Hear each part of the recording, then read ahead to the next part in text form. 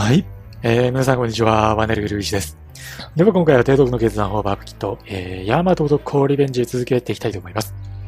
まあ、前回はですね、満を持して、えー、艦隊をね、パラオ沖へ派遣。このパラオを奪還。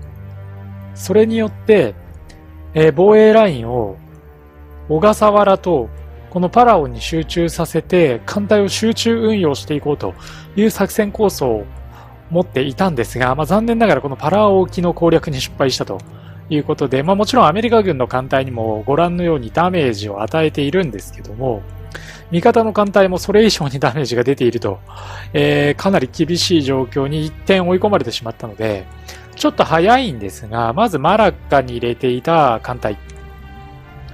えー、このうち、中破しているものを除き、改めて出撃を命じます。第6艦隊。これはね、このまま、このマラッカでドック入りをさせて、えその間にこの第3艦隊を一挙にパラオ沖へと進行させていきましょう。まあ、一旦セレベスに入れますね。で、さらに、セレベスに入っている、えー、この井上さんの空母ですね。ここの艦載機は補充をしてあるので、えー、この150機の艦載機で挑みます。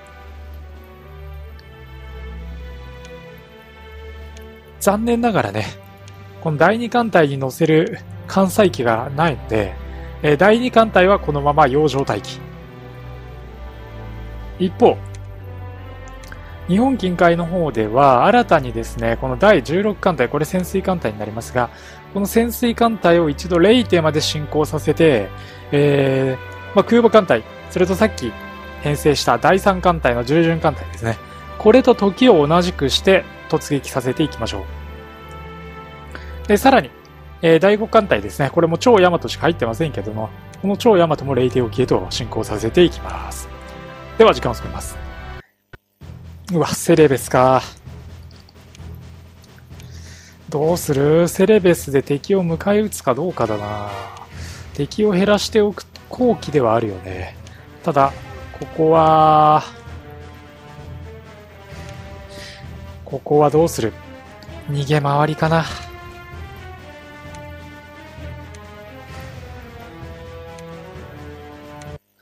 じゃあちょっとここは時間をドバドバドバーと進めていっちゃいますね。撤退します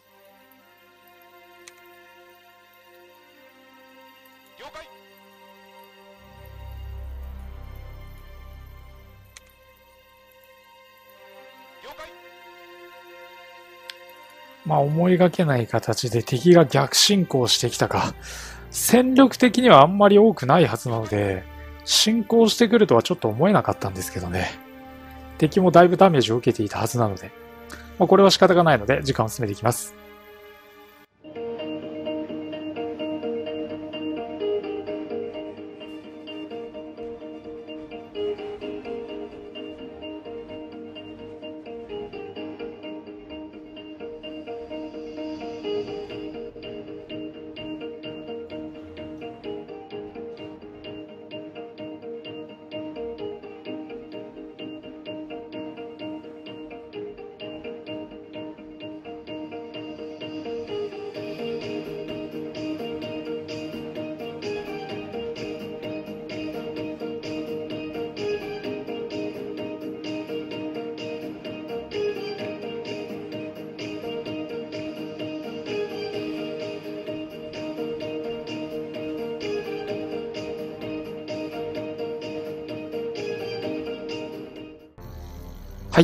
えー、まあ、駆逐艦一隻防空艦失いましたが、セレベス海は逃げ切りですね。次のターンだ。次のターンで反撃。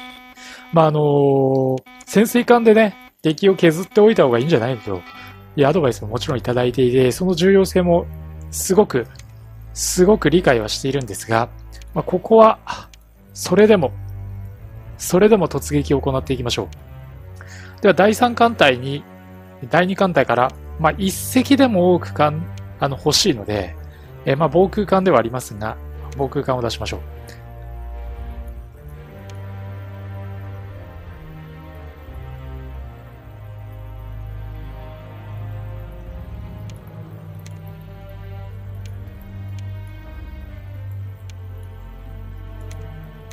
さあ、これで、このターンで第1艦隊。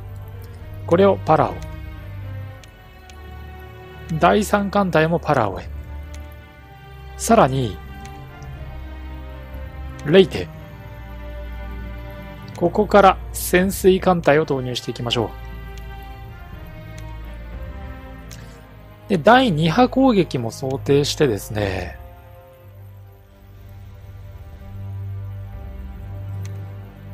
この先、第5艦隊と第15艦隊の潜水艦隊をガッチャンコしちゃいます。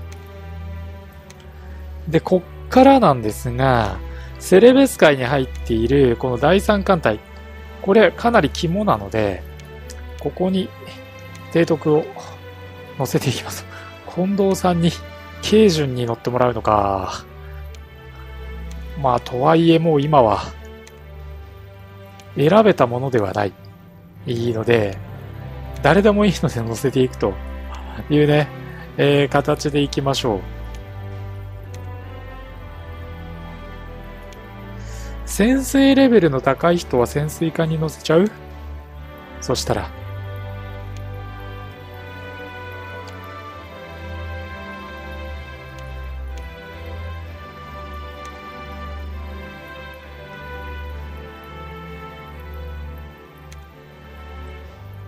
まあ、潜水艦による敵のジャイアントキリング、敵の空母だったり、あるいは戦艦だったりっていうね、大型艦をしっかり沈めてきてもらわなきゃいけないので、まあ、潜水艦に、霊毒を乗せていきましょう。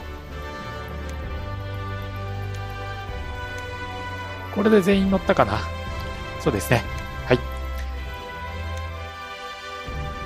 では、いよいよもって、パラオ沖へと進行していきます。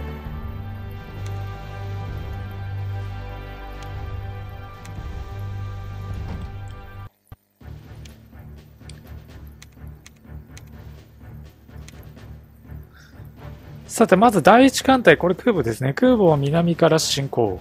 第三艦隊も南から。北側から潜水艦隊を投入です。夜明けとともに出撃。雨とか降ってくれてるとね、すごく良かったんですけどね。残念ながら雨は降っていない。まずは航空攻撃で敵の基地を1個目破壊しちゃいましょう。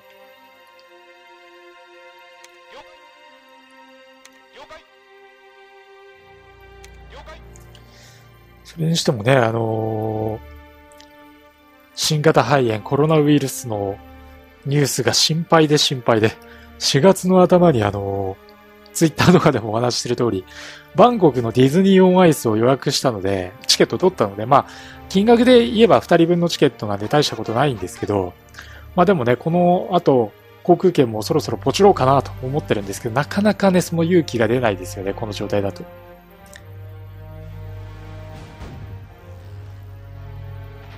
できればね、そういう心配なく、行きたいなというところなんですけど。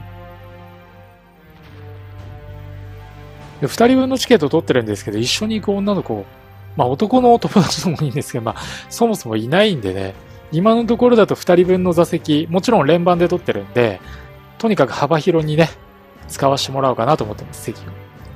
それまでなんとか一緒に行く女の子を探そうかなと思ってるんですけど。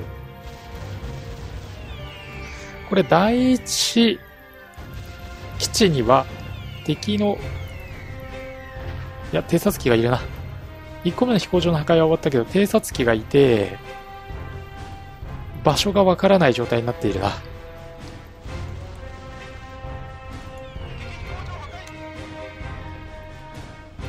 敵の位置が全くわからない。どの辺りにいるんだろうね。第二艦隊は、こっちから回り込みましょう。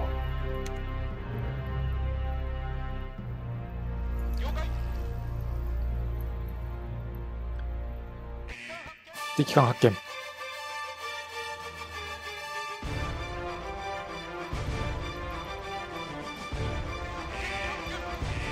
敵発見。どこに敵の空母がいるかだな。空母をやっぱり仕留めないことには話にならないですからね。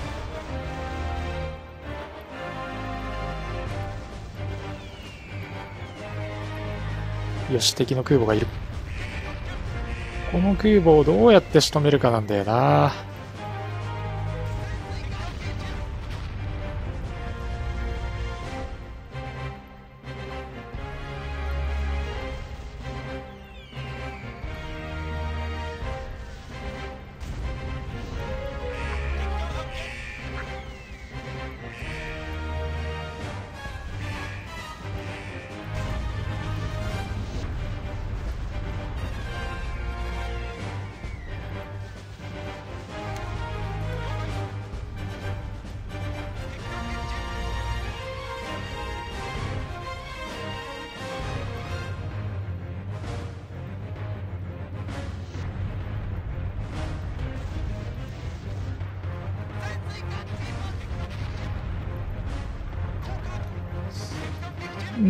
第二艦隊は何やっている？団子に、団子になってるな。どうしてもここで敵の空母を散々に痛めつけておく必要があるというのに。もう潜水艦隊は任せましょう。で、第二艦隊の指揮を取ります。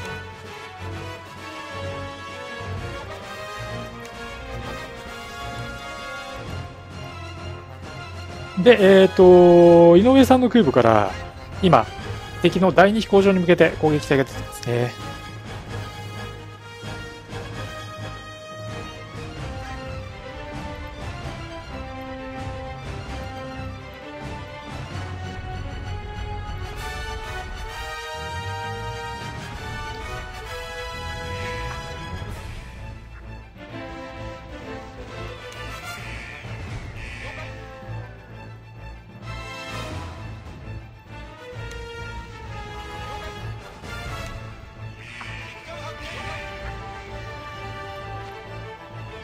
いや、もう第一艦隊の防空艦が大して役に立たないのにろくでもないことしてくれたな。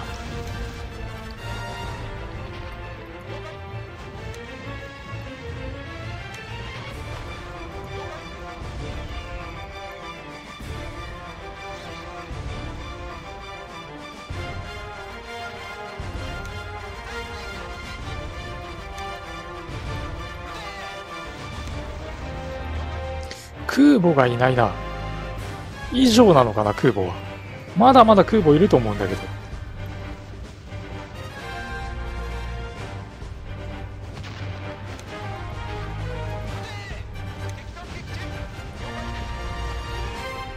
ちょっと足が遅くなってるね。高速従順艦隊という割には、その力はあまり発揮できていない。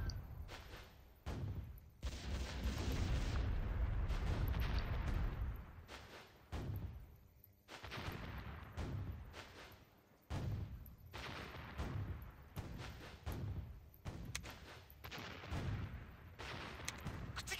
水曜艦隊派撃てさて、えーと、空母を少し前進させます。爆撃隊が戻ったら第2波攻撃に入りましょ了解撃て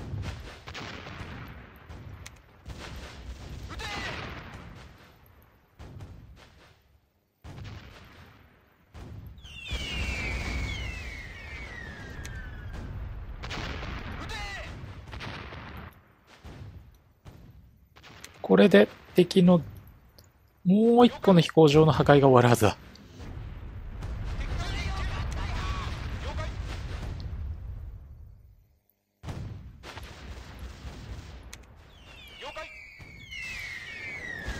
いやー、敵の空母が仕留めきれてないな。どっかにいるよね。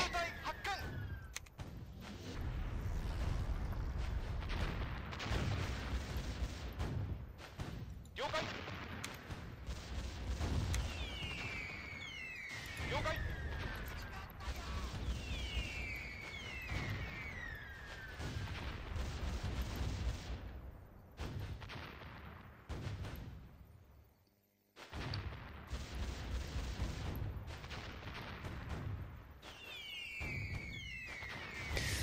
まあ、空母は取り逃しっていう形になりそうですね。撃沈はできないまでも中大破はほとんどさせて、敵の艦隊は撤退に入っているので、残りの基地攻撃に専念しましょ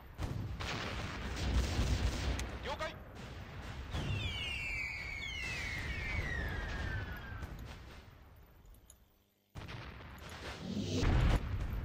敵艦撃沈敵艦撃沈う。ちょっとまずかったのが、第1艦隊と第2艦隊が、まあ、団子になってしまったので、あそこでだいぶロスしてしまったかなという感じが、ちょっとしますね。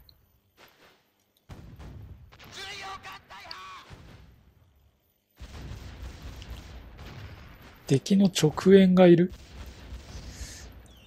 艦隊がいるのかまだ。まさかとは思うけど。重要艦隊派敵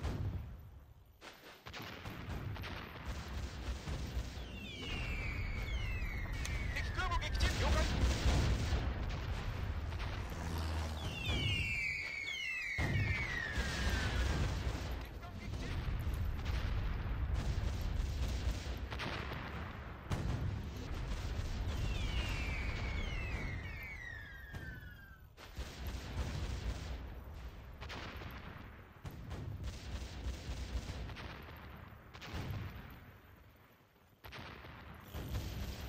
もうここで座礁したな、敵の正規空母が。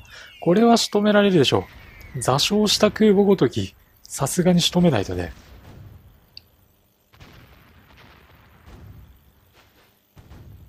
回復される前に、潜水艦による魚雷攻撃で、敵の空母を撃沈。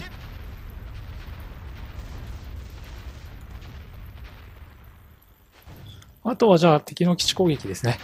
これが、あと一旦決まれば終わりかな。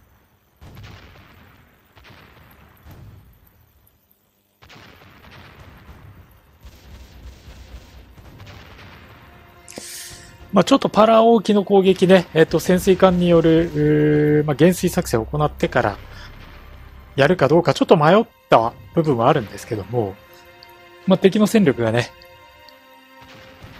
整う前にパラオキを一気に強襲したと。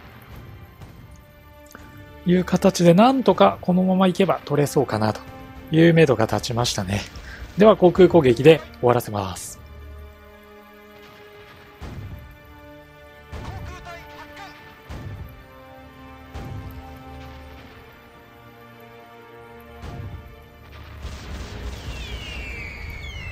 さすが1トン爆弾の威力だよね。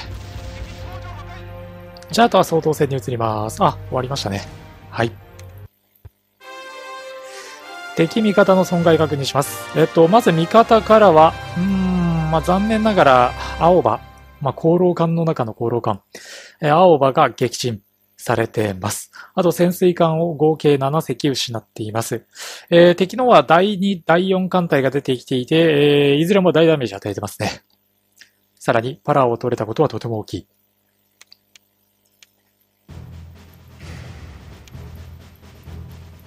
まあ、ここはドイツ艦隊が無難に防衛を果たしてくれてますね。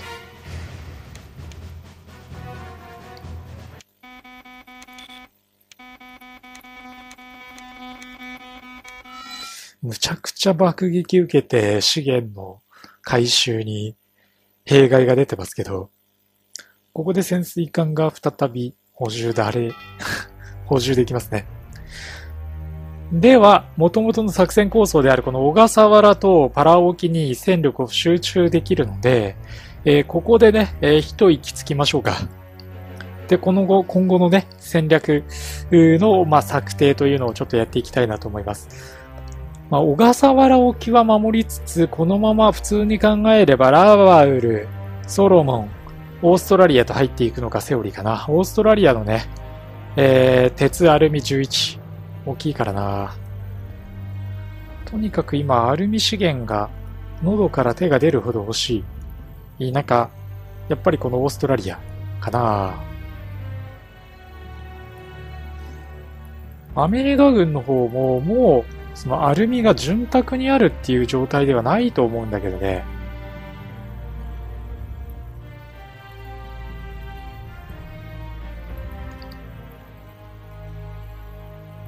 イギリスはアルミ豊富そうな感じしますけど、アメリカ軍に関してはもう、その航空機をバカみたいに作れるほどのアルミの量っていうのはないんじゃないかな。では、ちょっと今回はしっかりと情報活動からやっていきます。まあ、すでに、いくつかの海域では、スパイが潜入済みなものの、逆にいつかいくつかの海域ではね、敵にスパイが逮捕されているケースもあるので、物資の援助、いやーもう特に欲しいものないでしょ、ドイツも。ドイツも金バカみたいにあるからな。で、航空機の生産は、まあ、長距離爆撃機ですね。とにかく今、爆撃機を用意しておきましょう。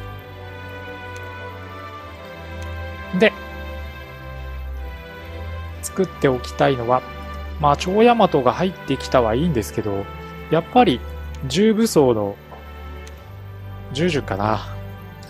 重武装従順をちょっと何隻か、用意しましょう。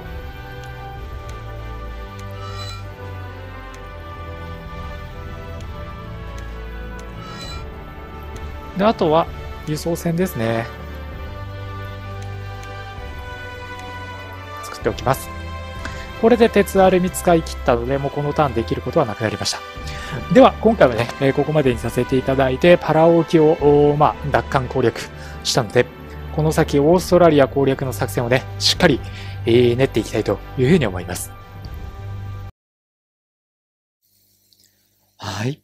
最後までご視聴ありがとうございました。内容いかがでしたでしょうか？